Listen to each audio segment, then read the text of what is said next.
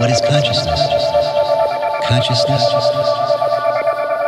is energy which is received and decoded by a physiological structure.